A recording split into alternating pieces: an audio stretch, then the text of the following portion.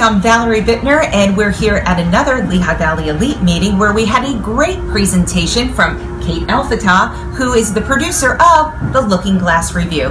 Uh, Kate, can you tell us a little bit about what exactly is the Looking Glass Revue, and then maybe the ladies can tell us about some upcoming events. Great, thanks Valerie, and thanks for getting my last name right. um, the Looking Glass Revue is the Lehigh Valley's premier burlesque and comedy troupe. We are a traveling troupe.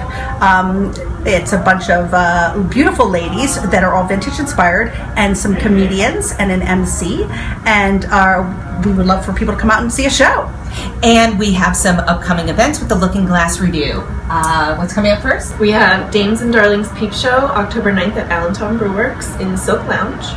And then we have October 24th at the Arts Quest uh, Slasher-esque in Bethlehem. So there you have it, folks. Another great presentation here at Lehigh Valley Elite. Be sure to schedule your one-to-one with Kate Elfatah so you can learn more about the Looking Glass Revue.